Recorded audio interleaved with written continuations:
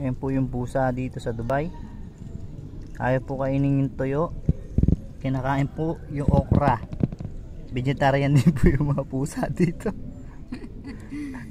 Bigyan mo po isang okra. Kinain niyo okra? Oo. Pati po pusa dito, vegetarian din. Ayan po yung okra. Tingnan nyo yung nilagang okra. Ay, Mas kinain niyo okra. Ito sa amin. ayaw nyo pong kainin yung toyo. Ayan po. O, para malinaw. Kakainin na po yung okra. Kahit po pusa dito sa Dubai, vegetarian din po.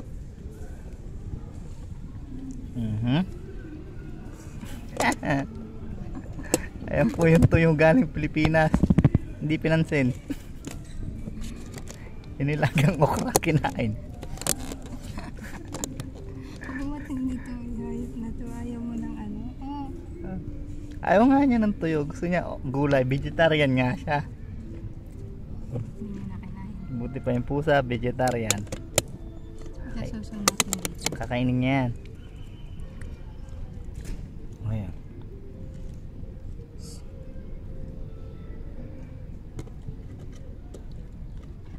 Ilagay mo yun, hindi nga yan kakainin.